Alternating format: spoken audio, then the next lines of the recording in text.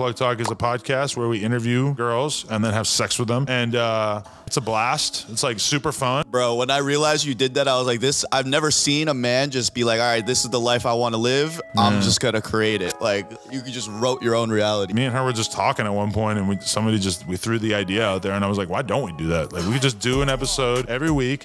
I think it makes sense because for me, like, I, I like watching. I like watching.